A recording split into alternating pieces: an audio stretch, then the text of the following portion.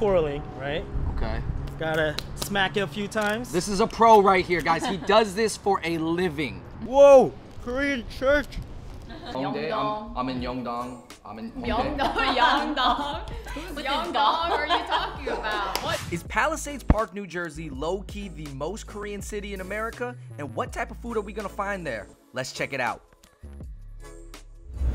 What's going on, everybody? Welcome to another episode of Fung Bros Food. Today, I'm out in Bergen County, New Jersey, in a place called Palisades Park, aka Pal Park. It is a majority Korean populated city, and during the pandemic, when New York's K-Town was closed, this is where people came to drink at Pocha's. They came all the way from New York to New Jersey just to drink because you know everything was shut down. Pandemic or not, you got to get your pochas in. All right, so we got a lot of food to explore, and I got a lot I want to talk about. So let's go to our first spot. All right, starting off with our first spot, I'm here with my friend Chi, who lives and grew up in the area. Right now, are you an honorary Korean? Yeah, my friends make fun of me. I'm an honorary Korean, so I'm gonna help you out and show you around Pal Park today. The best Naengmyeon, aka cold buckwheat noodles that I'm ever gonna have. Yeah, it's really hot today, so we'll start off with some mulnaengmyeon, and they have some specialties here. We're at Naengmyeon. Um, Yeah. It's part of the twin buildings. All right, Chi, so starting off our trip, I wanted something refreshing and light. We have what is supposed to be the best Naengmyeon, aka Korean cold buckwheat noodles that you could possibly get here out in Palisades Park. Um, they have locations out in Georgia, Dallas. I mean, I can already tell the setup is looking different. This is the Hue Naengmyeon, and then this is the Mol Naengmyeon, aka the water Naengmyeon.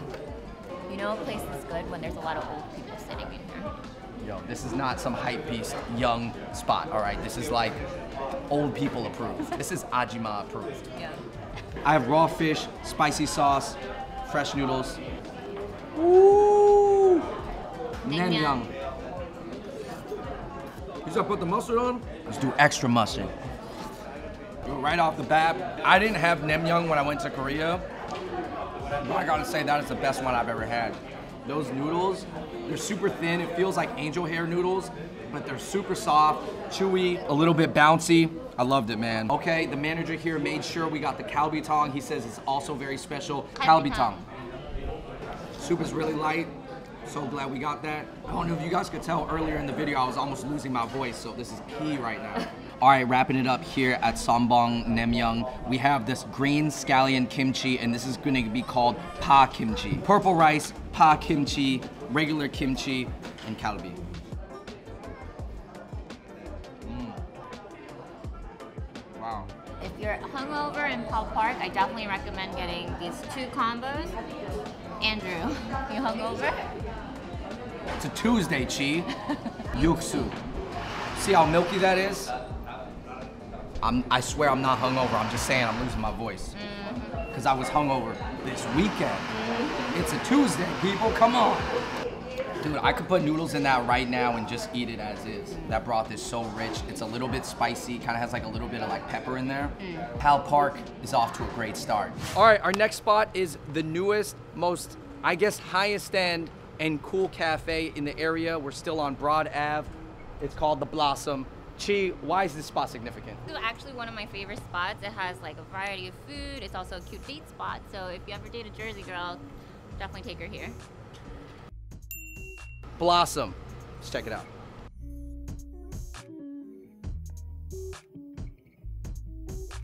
Okay, Swan. Um, can you describe like what makes this tteokbokki like rice cake stew like more special than other ones? So what's what's inside of it is like it just doesn't have regular rice cakes. It has cheese rice cakes also inside, and then variety of the fish cakes. Oh. These have cheese inside. Whoa. you said the chubby ones Yeah, have cheese inside. cheese. Ah, they got cheese rice cakes. All right, that's new. I'm looking forward to it. and um, what's on top is the fried uh, fried odeng, fried fish cake. Mm, okay. Kimbap. Kimbap, your favorite kimbap. What, what makes this different? So this is a tonkatsu kimbap, and our kimbap is known to have very little li- rice. Okay, and this is a traditional one, right? Yeah, More it's like traditional. original. Is that one a little bit more new school? Yeah, it's more new school. Blossom, Cafe. Love it so much. when the girls just dances, they're in a different world. Okay, so this is my first time getting the cheese rice cake right here. Bite it in half. Yo, that's really good. Guys, this glass noodle mandu is actually really, really good. This is one of my favorite mandus I've had. It's super peppery inside, and it kind of tastes, it's kind of like a japchae, except a little bit more like mm. eggy and spicy. So it's got pepper on the inside, noodles on the inside, and it's fried, and then it's just all spicy on the outside. That is a five out of five. My favorite tteokbokki I've ever had, actually. Because, like I was, I was telling her earlier, I'm actually not a fan of tteokbokki in general, but that one's really good. Chi, you said that this is the best kimbap I may ever have. I'ma see, I'ma judge this, because I've, I've had the kimbap in Korea before. Right outside of the hotel that we were staying at, there was like a new uh, designated kimbap spot, so. what does it mean? Exactly right. The ratio between egg and pickled veggies wrapped up in a thin layer of rice. I gotta say, that's a good kimbap. Katsu kimbap. I'm not gonna lie, I'm gonna roll with the original. Right? Okay, we got dessert here. We got the pot bingsu, but this is a little bit different. Why is this different than other bingsus that you may have had? They said their ice is made with milk. So I think that's gonna give us more flavor than like just basic ice that Eh, most places get. This is a mango cheesecake bingsu. Go for it. Hold up, you're saying there are pieces of cheesecake in the mango bingsu. Okay. I got it. I know why. I know why you got to take a date here. Mango, cheesecake, bingsu. Honestly, there's like pieces of cheesecake mixed in with my bite, so I can't really tell what I'm eating. She is raving about. I've never seen a kimbap like this in my life. Whoa. Oh my god.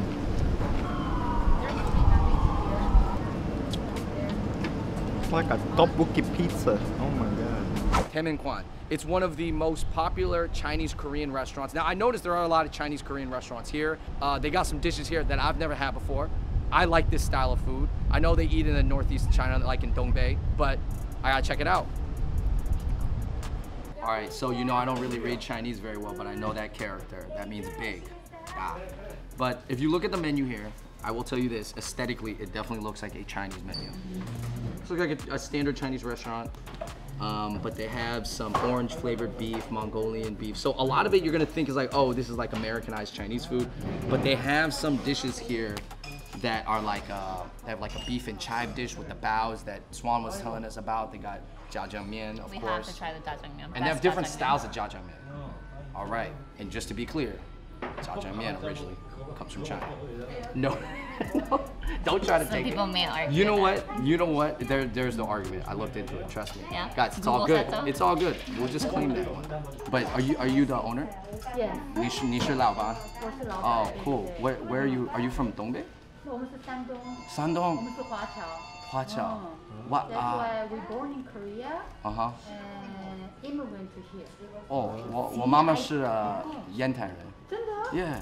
Korean dishes, right? That probably um, the origins are from China, but Koreans do it a little differently. This is eaten oftentimes in uh, Dongbei and Shandong, like the northern part. In Shandong, there's certain parts of the province of Shandong. It's not as north as Dongbei is, but the peninsula of Shandong is actually really close to South Korea, so there is actually a lot of crossover right there. This is sautéed jiu chai, which is chives with beef, and then you get the bun.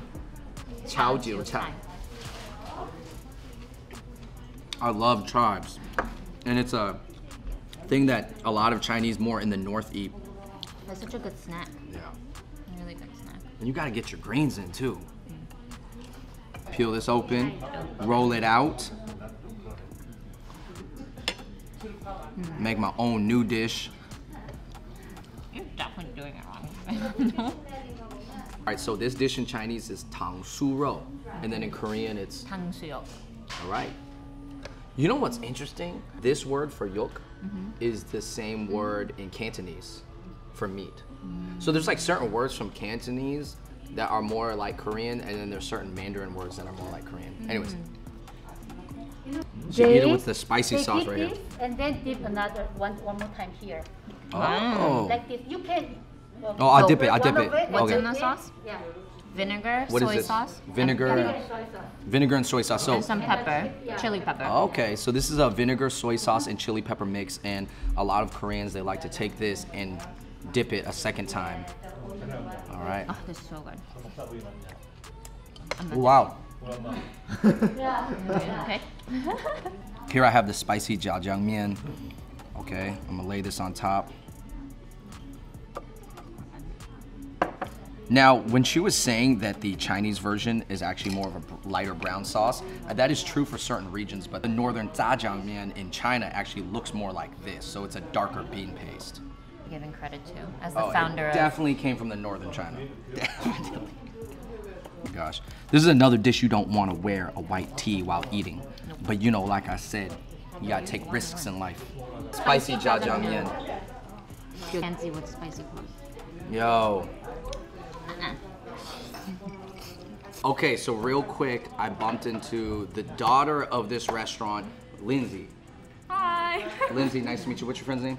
Alexis. Alexis, nice to meet you. Nice to um, meet you. So you're Chinese, but your parents are from Korea, and they run this Chinese Korean restaurant. Yes, they do. Yeah, like the funny thing is, growing up, a lot of my friends were Korean. Mm-hmm. Um, so the thing is, like, I had to explain this whole thing about how like I speak Chinese at home, but my parents speak Chinese and Korean to me.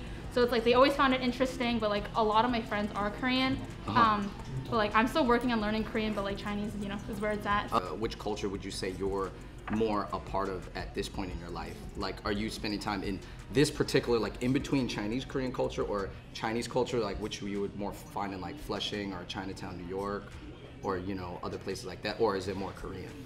I honestly have to say it's a pretty equal balance. Like depends on like what like section of my life we're talking about. Like food wise, I love Korean food. Okay. Like kimchi jjigae is like my favorite. um, but then like I spend a lot of time like when my parents are off, we go eat in Flushing and whatnot. Okay. So like we enjoy a lot of dim sum and like a lot of like authentic Chinese food. And then language, like it's really a mixture of both. Like I Yeah. speak Chinese, but my mom speaks a good amount of Korean to me. Um, so even Oh. though I can't really speak Korean, like I'm still trying to learn. But Right, right. Um, a lot of it is just like a mixture. Um, so there really isn't like one overweight. I mean, you're part of the Chinese diaspora. It's it's it's funny because like I think this Chinese Korean kind of crossover is like not as common, so people don't think about it. But actually, there's a lot of like Chinese Vietnamese people, Yeah. like Chinese people from Vietnam. So that's like more of what I'm familiar with growing up. Uh-huh. But later in my life, I met people who were like the Chinese Koreans, right? Like Uh-huh. the Chinese from Korea. What, what are your favorite uh, Chinese Korean dishes out of these three? Um, definitely the jjajangmyeon. Like, grow, obviously, growing up, I have easy access to jjajangmyeon. So like, whenever I'm like around this area, like I always have jjajangmyeon. I also like tangsuyuk. Is, Right is, there. is the spicy jjajangmyeon? Is that the is that the I new one? always That's get the wave the you want. spicy jjajangmyeon. yeah, I have to say. the younger gen see that's why she said the younger generation because she she knew you ate it i've had the korean jjajangmyeon maybe like seven eight times in my life decent amount of times right enough to this is by far the best one the northern jjajangmyeon from china that i'm talking about it is a lot darker it's a lot uh, heavier uh, more robust fermented bean flavor. This is a little bit smoother, but this is turned up than the other ones that I've had. So I would say this is the best jajangmyeon I've ever had. You guys gotta check this spot out. Chi, what was your favorite one? I mean, I liked all of them, but Tangsuyuk, I don't think it could beat like anyone else could beat this one. Okay, so that's the yeah. best Tangsuyuk. Five out of five on the spicy jajangmyeon for sure. And your shirt's clean. Hey, the video's not over yet. There's still plenty of time to splatter something on this, but yes, clean for now. All right, I know it is 1 p.m. on a Tuesday afternoon, but we are outside of the most popular pocha. I have a lot of friends from New York that were going here during the New York shutdown because Jersey was more open because they needed to, you know, still get their soju fix in. So explain to them, Michelle, what a pocha is. A pocha is an outdoor kind of Korean uh, drinking spot that you can go to. Where also here in Jersey, uh, you get a fraction of the price compared to New York City. So I mean, you get just as good quality food. You get just as fed up, but fraction of the price. Okay. So I mean, it's worth the trip. Just don't drink and drive. You get fed up for a fraction. That's good. I like the tagline. Tell me about the history of this spot, because this spot is like huge, but it used to be like Oh, something yeah. else. Yeah, I mean, this was a staple diner in Pal Park. Uh, it's been there for years, and then after that, it's transformed to six different places. Wait, it was an American diner. Yep, American diner. So this used to be an American diner, and maybe this is one of the things that, I don't know, made some of the older Palisade Park residents mad. Not all of them. I'm sure they're great people, but yeah. So it was stuff like this. The diner's gone. Now it's a pocha. I mean, it's transformed about six different times. This pocha, we'll see how long it lasts, but I mean, I feel like it's been cursed since then. Wow. What a plug. you said it's cursed. Mm-hmm. Susang Pocha here on Broad Ave.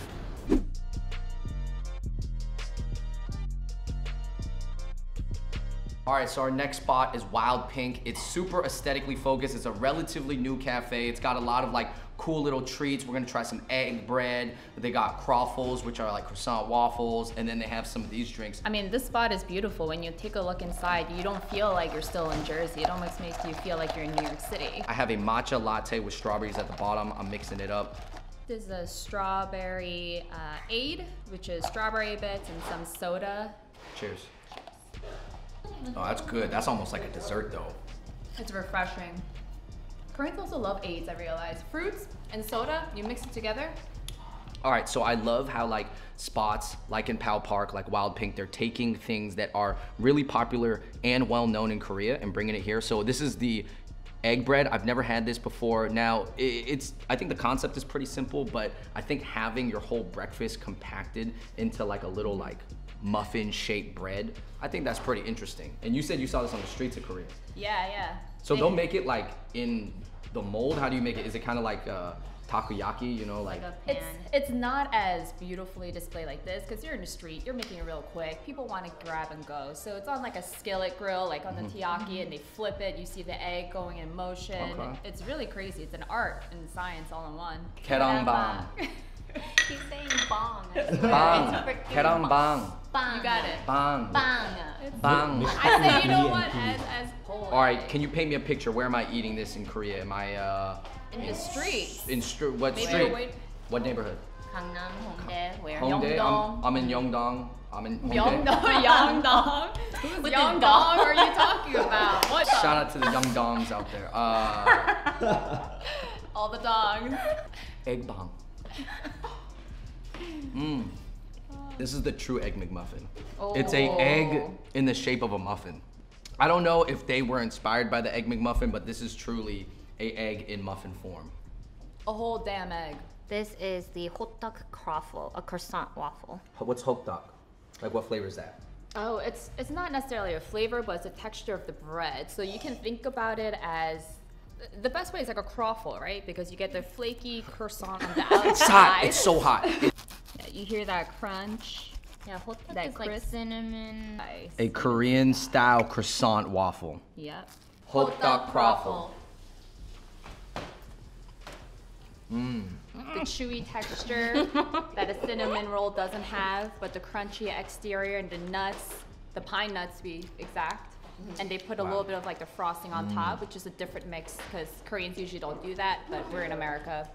Guys, I think I know. Uh, I think croffles are a relatively new thing, but you guys gotta check this one out. It was super fluffy, soft, crispy, still had that chewiness.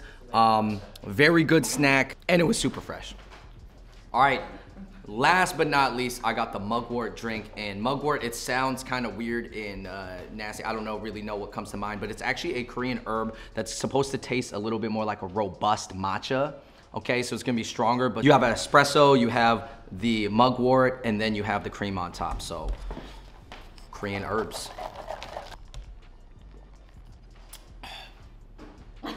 yeah, it's almost like a deeper, a little bit more bitter matcha. No, it's stronger. And I burp. My bad. I burp a lot, actually. I do. I take in a lot of air. That is something I do, actually. You gotta. It's my more thing. flavor when you Yeah. get air in there. Yeah, because I have to make space because it's like blow it and then I release it and I can mm-hmm. drink more. And the herbs is helping you on the inside out, right? Mugwort, if you're down, if you want to try a stronger matcha. All right, my question to you guys is: Do you think mugwort, with that name, can compete with matcha? I say matcha takes the cake. But, but this was a really interesting dish. I, I expect you guys to. I, I would really recommend you guys try this if you've never had it, especially if you like matcha. All right, on to our next spot. All right, Dan, behind the camera. Uh, I asked you about the Arirang rice cakes. Can you explain to me real quick? Yeah. These are the rice cakes that you eat on New Year's. On New Year's Day, you're gonna get this. All right, it's not New Year's, but this is some traditional Korean stuff that, like, you know, I don't see very often. So I'm gonna go in and buy it. Okay, so I'm inside of Arirang rice cake and I'm trying to look for some very traditional snacks. This is a traditional Korean candy and the lady warned me. I wanted to buy it, but she was like, whoa, uh, watch out for your teeth because it might rip out your teeth. So I'm, I'm gonna back off, but but I wanted to show that. And then here, I'm gonna get this traditional cookie, and then I'm gonna get these mugwort rice cakes, you know, which is gonna be kind of like mochi, but you know, Korean style. So get these two things. Okay, Chi, I know you are not Korean, but you grew up out here. So which one of these traditional Korean snacks have you had? I've had these guys. Okay, so you can eat these during New Year's, but you don't have to. And usually you'll roll them in brown sugar. That's what Dan just told me. But mm-hmm. I wanted to get these because this is a, a mugwort one. Well, I've already had mugwort twice, so this is mugwort town. All right, mugwort, Mugwort rice rice cakes. Oh, mm, mm. yo, that exploded. Mmm. Mmm. That's like sesame honey. Very sweet, kind of chewy. It, it tastes like a lot of the kind of East Asian rice cakes, whether it's um, Chinese like tangyuan, which is kind of uh, the soupy rice ball with the black sesame, or you have obviously mochi, and then this is the the cool duck. All right, Chi, what I'm looking at here is a traditional Korean cookie, and you don't recognize this because maybe you didn't grow up with a Korean grandmother. But Dan right here behind the camera did. Dan, your grandmother would have these on deck. All the time. Korean cookie. Your grandmother might have this. Mmm. Definitely tastes like something I've had before, but that's actually not bad. It's it's not as it's not a dry cookie. It's like a moist, yeah, it's super moist, dense cookie. Yeah, it's definitely not healthy. No, it's It's good. definitely not healthy. Nah, it's not healthy, but it's, it's kind of good. See if this brings you back to your childhood, dude. Whoa! Korean church! All right, so we're outside of uh, Broad Gourmet Market. Um, it looks like a spot where you buy all your meats for Korean barbecue. And I know I'm in an Asian enclave because back in the 626 in LA, which is the Chinese zone, they'll have shops that are selling all the meat that you need for hot pot. So you got all the meats you need for Korean barbecue. And then, of course, in the Chinese zone, you'll have your hot pot meats. But I'm gonna take a quick look inside. You got a family gathering in Pal Park, all right? You're doing Korean barbecue. Which meats are you getting? I mean, I like starting off barbecue with some brisket. Okay, brisket. What, what about ribeye? Ribeye, are we doing ribeye? Um, and you can skip the ribeye. Okay, so these store stew short ribs, are these gonna be for like kalbitang? Yeah. the- the Okay, soup. she said yes. I said soup. kalbitang, and then the lady said, yeah, that's the meat for the kalbitang. so this is the regular kalbi, okay? Pork belly. And English. Samgyeopsal. Samgyeopsal. I need to date a Jersey girl, okay? I need to go to the Blossom Cafe with her, okay? Guys, if you need to start your own Korean barbecue restaurant or you're having like a big Korean barbecue at home, you got your kimchi, big tubs, all different types of kimchi. You have your own kimchi brand that you're a part of. Mhm, Guys, check out Hometown Kimchi. You guys know the spot if you need to get your Korean barbecue on. What better way to end off our Pal Park journey by coming to one of the most famous late night pochas here. It's so famous and was so important that during the pandemic, when New York's Koreatown was completely shut down, a lot of the people who still wanted to get their Korean drinks in and get their soju fix and their pocha fix in, they came to places like this. Exit 201. Let's see if I walk out of here sober. Who knows? I don't. Yet. Not mine, not mine, not mine. Not mine, just borrow it. Just All right, everybody, I'm standing here with Josh, uh, the owner of Exit 201. And you guys, um, this is started by your family, and you guys have like kind of a story of like, you know, you guys were struggling at first. Could you share a little bit more about that? Yeah, so we actually started this place um, in 2013 uh, with the name of Mariachi. Some of you might, guys might know it actually didn't turn out so well. And um, we had to progress a little bit. We had to figure out what the customers wanted, what the town wanted uh, in terms of drinking, nightlife, food. And then we eventually um, evolved into establishment like this. And um, you know, we're proud to be here at this time. All right, Josh, we got a whole lot of food on the table. Now, this is all food that I can order while I'm drinking here at Exit 201, right? Right. So this is uh, so this is like a typical type of food that people order while they drink. Okay. So Which one is this? What's this dish called? so this is called a seafood jampongtang. okay. So this is like a typical spicy soup that you'll see at um, Korean Chinese restaurant. Right. Yo, I noticed that there's kind of a lot of like Chinese, Korean dishes and restaurants here. Yeah. Like I know that that was always a thing, uh, but it, it just seems like maybe in Pal Park there, there's even a few more than I expected. So what a lot of people don't know is um, a lot of Korean foods are infused with Chinese food as well. So when Koreans say Chinese food, we're thinking of it as like you know it's not a real Chinese food like takeout Chinese food, but it's um, cuisine Chinese food, but it's very Koreanized. Right, right. So well, it, it could be cooked by the Chinese people who grew up in Korea, Right. or possibly Koreans who grew up in China, because there is, uh, you know, a lot of that population that Right, does cross over. Yeah. Nurungji. I think initially you don't know how good the food is gonna be at a, at a spot that you also get really trashed at. right. But but the food is good here, so definitely. Yo, we got some other dishes here that I've actually never seen before. Some of these I have seen before, but this one, what is this? So this is our special um, spicy pig feet. Pig feet. Yeah, Wait, is this supposed to be a pig's foot? It's supposed to be a pig leg and a foot. Oh, So there's shoot. different bones as well there. Yeah, that's yeah. So I, I, I didn't want to say see it. this was not a pig. This is the the leg of the pig, right? No, that's actually the uh, the foot slash the leg. I mean, in, at the end you'll see like the toes. and Oh, the okay. Josh, do you know why um, Koreans use the scissors so much? Yeah. Like it makes a lot of sense, but I'm just like, how did they arrive to using it? Honestly, I don't know if it's like a Korean thing. Um, when I started working here, I, we use it a lot more often. Um, but at home, it's not. I mean, it's. I mean, I don't think we use our knives at home. Like Jokbal. Almost some like Southeast Asian or like Sichuan flavors with Yeah. the chilies. Yeah. That's really good, man. Did you guys come up with the seasoning yourself, or is this kind of still based off a traditional Korean dish? Um, so all the foods throughout, we don't use any special sauce, like third third party sauce on anything. So we we house make every sauce. Mm. So the middle one that you just talked about, it is the um, 대창, 곱창, 막창. Daechang, gopchang, makchang. Right. So there's the large intestine, small mm. Yeah. Um, and it's the three, the, the three combo. That one is uh, chicken gizzards. Um, okay. It's one of our best sellers. Um, so that one goes well with with the soju. Yeah, so I mean, the soju itself is not a it's not a strong alcohol, Right. so it's very easy to drink. Um, but at the same time, it doesn't have like a crazy you know aftertaste. Yeah. So you when you chase it, you know, instead of having a chaser with a drink, you'll take a bite of one of the foods, and it kind of acquires that taste. This is your this is your guys' own chicken and rice, like your halal chicken and rice. Awesome, man. I mean, you know, they're in the East Coast, Jersey, New York. Uh, halal food is very, very popular. So I'm down. I'm I'm looking forward to trying your guys' version. I think that's really cool. This is the Exit 201 halal guys version. Mm. I think it's cool that you guys have your own version. A lot of restaurants, especially like this, is probably the first Asian establishment that I've seen try to really honestly do their take on the Middle Eastern chicken and rice. Like you're the first ones. All right, everybody. So we are at a pochest. We got to get to drinking soon, but my two favorite dishes that I had, and shout out to Josh and shout out to the chefs back there and everybody here, was the jokbal, the pig's feet, mm-hmm. and then the champon. This seafood champon was really, really good. So if you guys come out here, check it out. What was your favorite But cheese? if you can't handle the spicy, definitely get the chicken and rice. All right, let's go have some drinks. Alright guys, so now we're in the outdoor area of exit 201. Yo, this is this was like this is packed like on the weekends, and really it makes a lot of sense that they they have a whole like parking lot to work with. So it's pretty tight.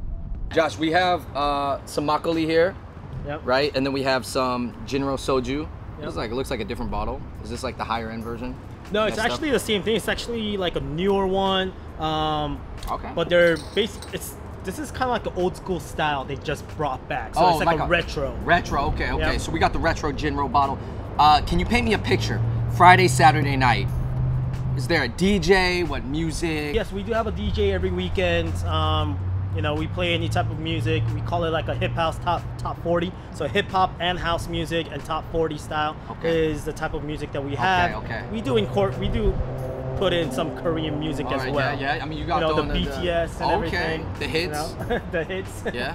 We are we going somewhere after, or is this the before or ending spot, or all night? So this is where it kind of starts. So if I start at exit 201, where might I go afterwards? So we actually have karaoke right next door in within the establishment. So this Oh. is that's where everybody ends up, and we kind of use that ex- as an excuse to, hey, let's sober up, let's go sing and sober up. Whole the twirling, right? Okay. Gotta smack it a few times. This is a pro right here, guys. He does this for a living. Cheers. So this is makgeolli. Um, from my experience, there are two different ways to drink it. The first one is to drink it without shaking it. Um, actually gives a better, cleaner taste. So what we're gonna do is try that first. No, this is No. tea. This is like how you drink tea. this is like tea. Tea, no, no. Okay. Yes. Cheers. Cheers, cheers. I'm holding it like this. Now you're making me hold it. Like. Now you're gonna So add. now I'm gonna shake it, but you don't want to shake it too much because you're, you're gonna have this thing explode. So you what you want to do is shake it a little bit. Um, you want to twirl it a little bit. Light and kinda- shake. Light shake. Light Okay. shake. Now if it you looks the more color- milky. Yes. You see the color now? It's very milky.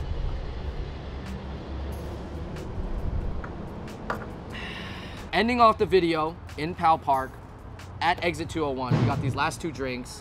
What are they, Josh? These are our signature um, cocktails. Okay. On the clear one, we're looking at the lychee um, cocktail. Mhm. Um, it's it's made with vodka and um, with the lychee, um, you know, puree and also the ball in it. All right, as, as I drink this uh, super sweet mango pina colada, uh, how would you compare the different Korean areas like Fort Lee and Pal Park? Because my impression of Fort Lee is that it's like the quiet, super chill K town. It's not over 50% Korean yet like Pal Park is. Pal Park got the Korean American mayor now. Uh, how is it different? So I would say Fort Lee is a little more diverse still, um, in terms of you know having a Western and also Asian culture mixed in. But Pal Park is you know like you said, we do have a Korean mayor now. Um, where you know they're trying to make Pal Park the new Koreatown of New Jersey. But at the same time, you know you'll be able to get both good foods and drinks in both areas. But you know definitely you want to check out Pal Park if you want to experience Korean culture a lot more. Fort Lee actually has some spots that are open later than Pal Park. So after there, you guys end here at 2 a.m. Some people from here will go back to Fort Lee. Yes, yes. That's- and if you guys want to do that, come over to me. I'll recommend you the spots that you should go to. But you got to come here first to exit 201 so that Josh can tell you. See, that's Yep. the bait. You get Yep. them because they got to come Yep. here first. Fire. This is. Wow, this is really good. Yeah, I don't know. really I don't know if I should finish this thing. I can see on the cups it says It says seriously easy, easier, easy. I don't even know what that's supposed to mean. I think it should say drunk, stop drinking, bye. All right, everybody, wrapping it up here at Exit 201. Thank you, Josh. Appreciate it. I learned so much about the pocha life here, and uh, man, this Pal Park crawl has has been a journey. Woo! All right, Chi, I made it out there about 90% sober, so I'm I'm pretty good. But everybody, that wraps it up for our Palisades Park, Bergen County, New Jersey crawl. Shout out to Chi. Thank you for helping set that up. You're a Pal Park native. I know you're not natively Korean, but you are an honorary Korean at this point. Um, what do you got to say about Pal Park? Pal Park helps me to like de-stress, loosen up, you know, catch up with friends, mingle, good food. But this is home. Yeah, it's home. Uh, big shout out to Chi. Check out our links down below. It's not really about Pal Park versus Fort Lee. The thing I would say about Pal Park in general is that the amount of Koreans and the density allows it to kind of start to feel like a neighborhood in Seoul, where like I'm walking down Broad Ave and everything is Korean, and it kind of feels like a lot of the the spots are owned by people from Korea. The people walking the streets are probably born in Korea, a lot of them, and uh, it just kind of gave me an authentic feeling. I think out in Jersey, you just have so much space that you can have these humongous pochas. Like, you can't have this in New. York No. because there's literally no space, but you have this out in Jersey because you have this huge parking lot and it just kind of adds to the whole community aspect of it. So, what I'm trying to say, Chi, is that after all this time and Korean friends talking to me about Pal Park, I get it now. You get it. I get it. Pal Park is enjoyable. I, I'll, I understand it. All right, everybody. Thank you so much for watching that video. Shout out to Chi. Shout out to everybody. Um, it was a really informative, good video. I hope you guys enjoyed it. And uh, we ate a lot of great food. Let me know in the comments down below what you thought looked the most delicious. And if we left out any spots, I know we couldn't film in every spot, but you know, we tried to. I ate a lot. And who knows, like maybe one of these nights I'll come back. I'll hit you up, Chi. All right, everybody, thank you so much for watching that. Please give this video a big thumbs up, subscribe, and until next time, we out. Peace.